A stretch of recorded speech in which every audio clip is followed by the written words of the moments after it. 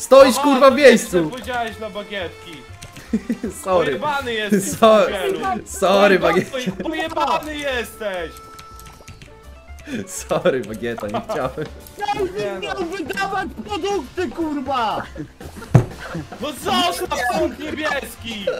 Ty miałeś mi podawać produkty! Dobra, cisza!